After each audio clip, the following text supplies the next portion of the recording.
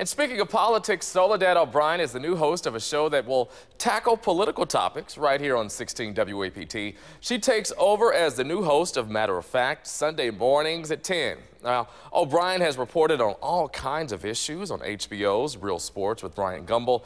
She also worked at PBS, CNN, and NBC. Often when you talk about politics, you're talking about Congress people in the halls of Congress. But actually, to me, politics is everything, right? It's, it's whether your kid goes to a good school or a bad school. It's whether your streets are paved or, or not paved. It's, it's whether you have access to voting easily or not. I mean, all those things are, are politics. This week's Matter of Fact looks at Homeland Security 15 years after 9 11. They'll discuss protests, race relations, and the plight of American Muslim women. Catch it all right here Sunday morning at 10 on 16 WAPT.